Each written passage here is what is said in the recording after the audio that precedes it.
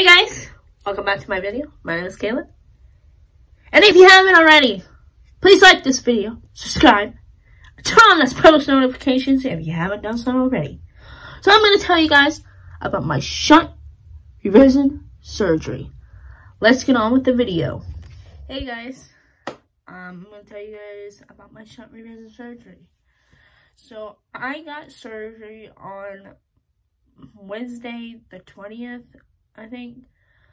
So what happened was, is I went to my doctor's appointment. I had two. I had one so they could do like a MRI. And so they had to like draw my blood. They couldn't, they drew my blood, but they couldn't find a vein on both arms. So anyways, as soon as I got done with that, I went to my my appointment with my doctor. Dr. Zachary, we went in and he told us everything. Well, then he told us saying that I had to get surgery right away. That we couldn't wait, we couldn't do anything, we had to get this done now. So me and my dad decided to go get my COVID test. We went there, everything was fine.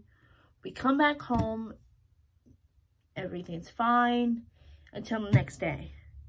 My dad gets a call from ProMedica saying that, oh, the ProMedica urgent care saying that I tested positive for COVID-19, which I think it's because I've had a cold and I think that's why, but I don't know.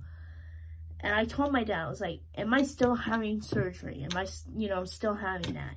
He's like, um, we'll see. Like, well, then I knew we were still going to have the surgery because my doctor said that it was an emergency surgery. So then we left at like 11.30. We got to the hospital. We went to the um, recovery thing, you know, to get ready.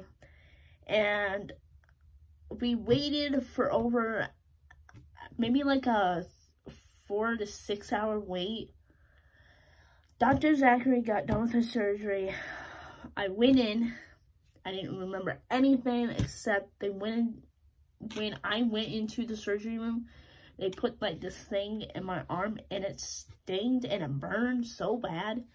And so then I went to recovery. I was so out of it because all the, you know, anesthesia and all that stuff. And my head hurt so bad because of what they did. And so they took me to my room, of course. Took me to my own room. And my mom and my dad came um, to my room. It was about like 11 or so. And so we um, they left. I could not sleep at all that night because of doctors coming in and all of that stuff. And I couldn't, I couldn't sleep. So the next day, I had a major headache, like major, major, major headache. And yeah. So about like noon, that was the time that we left we went home, we were driving home and all that stuff. And I came home and, you know, everything was fine. You know, every, the doctor said, and we had a follow-up that day. He took out my stitches and Dr. Zachary said that everything was okay and that I can go back to school that Thursday.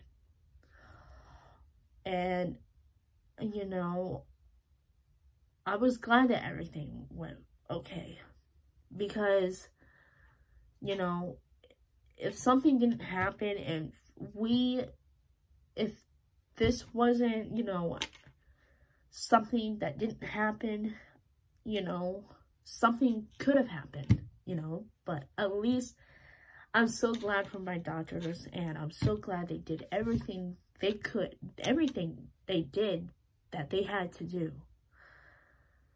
And I'm so glad for my parents, you know, being there and being on my side, especially when I got home, even George being on my side. You know, my brother, even though he didn't really take care of me. Um, so yeah, that's all about how I got my surgery and how it went. And yeah, I hope you guys enjoy. If you did so, please like this video. Give this a big thumbs up. Put on, turn on those post notifications if you haven't done so. And subscribe to my channel if you haven't already because you need to. Alright? Bye, guys.